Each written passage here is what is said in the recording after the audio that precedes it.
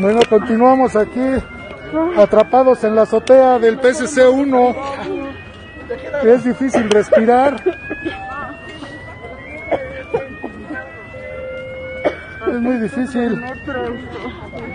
Evacuamos, nos encontramos en la azotea. Como ven, está el humo. A todo lo que da. Es difícil respirar.